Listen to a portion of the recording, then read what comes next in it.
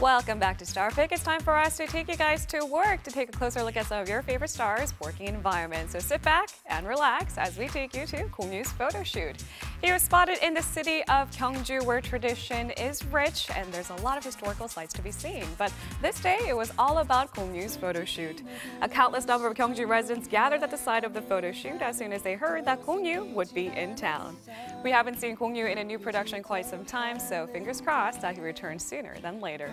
From one well-dressed man on to the next is Lee Jong-hyun of CN Blue. He was spotted on location for his TV drama That Man Osu, also known as Evergreen.